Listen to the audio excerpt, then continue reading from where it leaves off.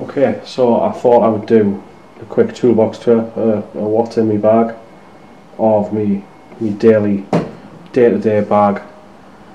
I'm an electrical engineer by trade. I work in the medical industry.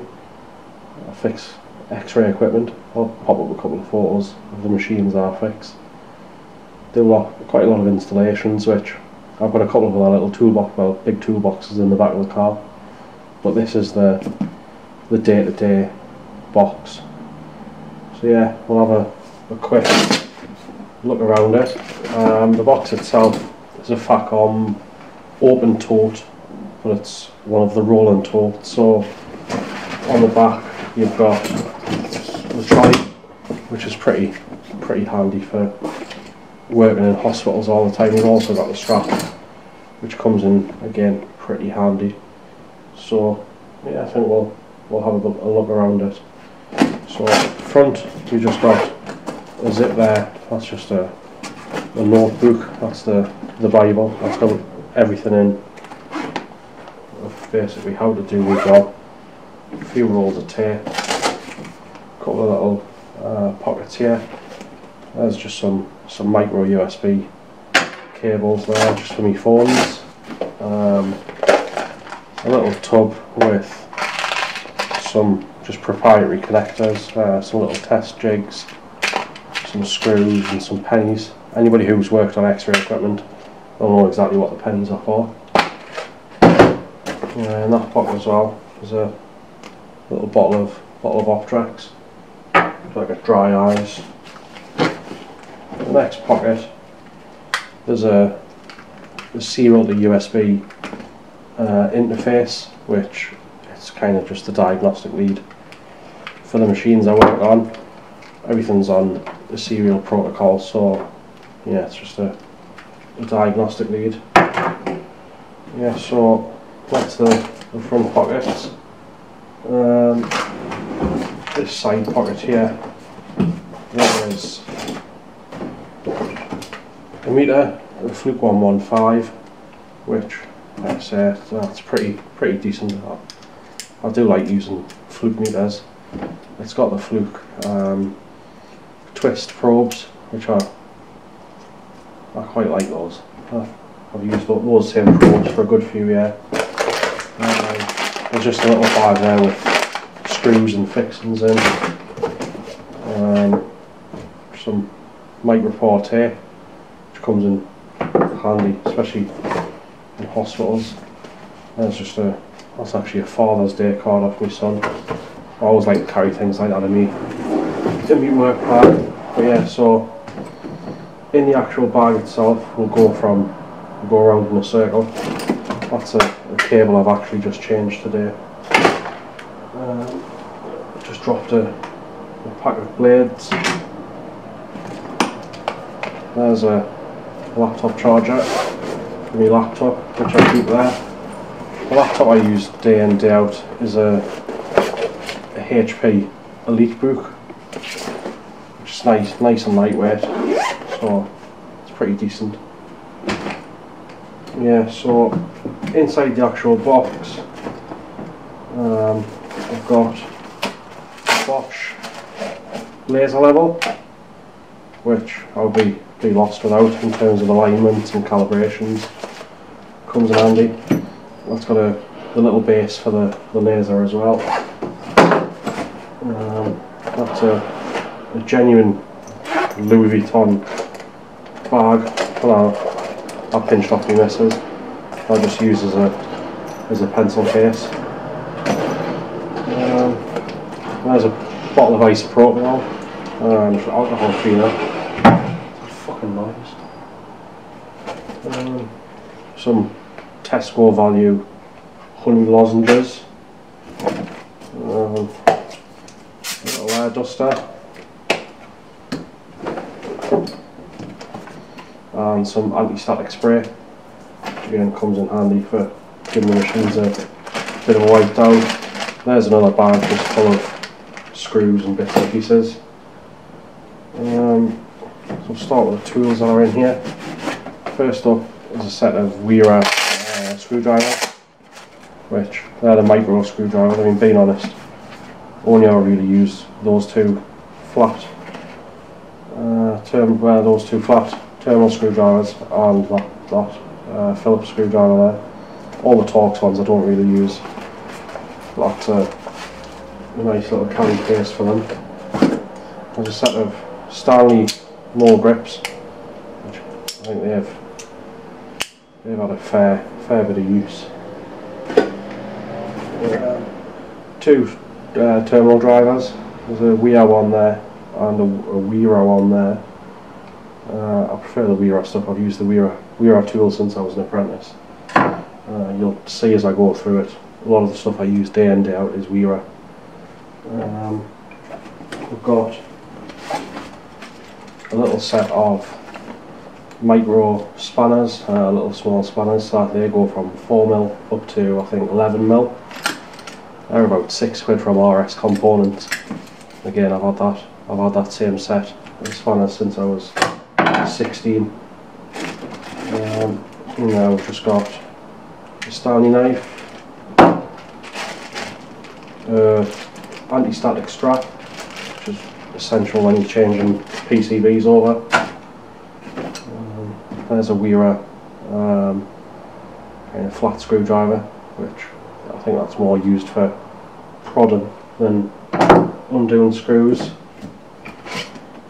In that pocket there's a just a a rule, which again doesn't doesn't I don't think that gets used too much, but when you do need it, it's pretty useful.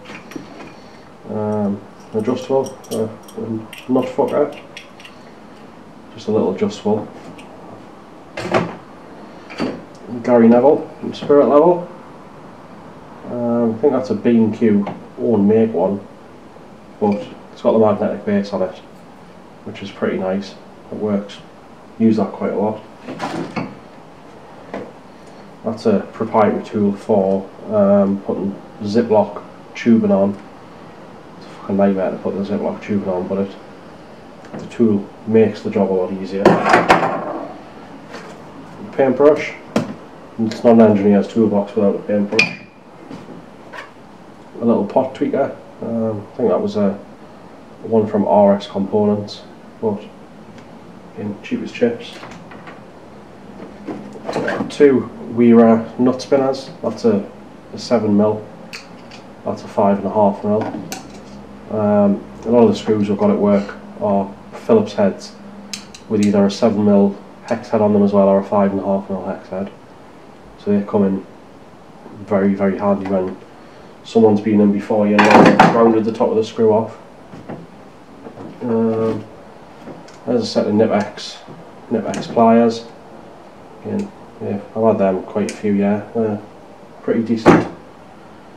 Um, in this little pocket here, there's a, steel, two steel rules actually. There's a little engineer's rule, a 30 centimetre steel rule, a pair of tweezers, a little needle file, and a little pair of scissors. Also got a Stanley tape measure. Again, that's worth its weight in gold. We've got a pair of locking uh, scissors, I think hemostats. I think they're, they're worth the weight in gold when you're trying to thread a thread a screw through a, a series of little holes or something like that, or get a wire into a, a, terminal on the back of something. They're pretty useful. Um, there's a set of cheapish needle nose um, pliers. With, they get used pretty often, to be honest. Um, I think these are my go-to, my go-to pliers. That's a pair of Nipex Knipex pliers. Again, I've had those since I was 16, so over 10 years. I think I've lost those on a site once. I was I was heartbroken, but I managed to find them the next time I was on site. Uh, they're pretty pretty nice. Set of side cutters, nice electronic side cutters. I think these are RS Pro ones, yeah.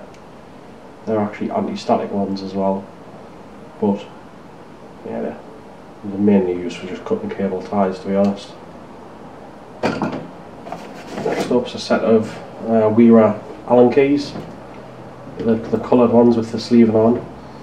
Now the problem I found was the Allen keys themselves had sleeving all the way down to the ends.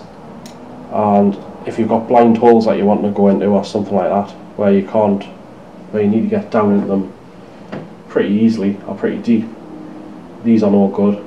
So I've had on the the sizes that I usually use to say 5, 4, 3, 2 I occasionally use a 1.5 um, had to chop all the sleeving back on them. But I mean 5 mil the sleeving's actually stuck inside the bloody holder. So that hasn't got any sleeving on so I think I'm due a due a new set of those at some point soon. Then we've got this kind of go-to screwdriver set. Again it's a Wera set. Uh, it's got everything from Posi, Phillips, Torx, uh, Allen Hex comes with come standard with just that handle and a series of bits. I've added the the little ratchet, um, a nice little fine tooth ratchet. I think that the ratchet itself is actually from Costco. That complements the set quite nicely to be honest. And it's also got just a bit adapter with um, just a, a, regular little uh, Phillips bit. There's also a full box of with Philip bits and there, Phillips bits, PH2 ones. And there, like I say, you break the end of them, you just stick a new a new bit in it. But yeah, so that's me, me go-to set. The only issues I've had with them is the 3 and the 4 millimeter hex ones have snapped. So I've heard rumours around there that you can get uh, Wera stuff replaced under under warranty, but well, we'll see. We'll see about that. I wouldn't mind getting them replaced. Um, in the back, there's a Japanese karaoke screwdriver. It looks like a microphone. Um, I looked all over Japan when I've worked in Japan for one of these. I can't find them. Can't find them anywhere. There's actually one of my colleagues when I was saying that I couldn't find one gave us his a spare one he had. Um, but they fit Japanese screws perfectly. You can actually stick the, the screwdriver into the screw and the screwdriver will balance, which it's it's a nice fit. A sloppy fit on screws means you're just going to round round them off. That's just uh, Knipex uh, water pump. Um, again, they're more used for fucking smashing nuts to pieces or damaging nuts. Is that the, the next lad can't fix them? Um, what else we got in here? There's a just a CD CD wallet with all the all the bits of software. There's a another CD. That's actually Acronis software for creating images of PCs. Um, we've got another roll of tape, another pack of blades. There's a little Wera um, little stubby screwdriver, a, a flathead one, which is ideal for undoing uh, trunking on walls. Um, there's a little little pouch there with a load of lanyards in, but there's two USB hard drives in there. That's a Seagate one, that's a one terabyte hard drive. Um, and there's also an iStorage one there which is actually an encrypted hard drive with a, a password on it which that's pretty clever. And I think last of all in here really um, a couple of bits of bloody string. Can't even remember what they're for. Okay the last up is tub of Bondus screw grip um, it's just iron filings in a tub, but it's actually pretty good. Um, it's designed if a ham-fisted bastard's been there before you, rounded all the screws off, knocked all the heads. You can stick that in the head and a decent screwdriver will get it, will get the screw out. Next up, I think it's the last, the last tool apart from that pocket. It's a set of Japanese, I think these are, um, I can't remember the name of these, these pliers now, who makes them. But what they are is just a regular set of pliers, so you've got a, a cutting edge there, kind of a grippy edge there. On the end of them, there's a serrated edge on them as well, which means if someone has rounded a screw off and there's no chance of getting it out, you can grab a hold of the, the head of the screw and twist it out, which I looked all over Japan for a set of these, managed to find them in a little market stall and paid about paid about a tenner for them. But the they've saved my bacon a few times. Last little pocket. That's a USB um, CD drive. The laptop I use hasn't got a CD drive on it, so I just use a USB one. It's quite rare I actually use CDs nowadays. To be honest, it's nice to have backup CDs in the in the bag, but it is quite rare that I actually ever use them. we use just ISO images of everything, and a, a wireless keyboard, which that's ideal for um, fixing mobile X-ray machines with, which don't have keyboards or anything like that. It gets pretty boring trying to pull logs and um, upgrade software without a decent keyboard and mouse. The problem with these Logitech ones is in about two years I've had six of these.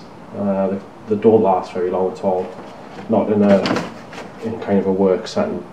So yeah, pretty decent. I imagine if you were using these at home, just in a living room or something like that, it'll be pretty decent. But when they get get bounced into the back of a car every day, it's a bit of a pain. But yeah, that's it. That's what I carry day to day in the car um, on site. That's that's what I make me living with. So yeah, thanks. Thanks for watching.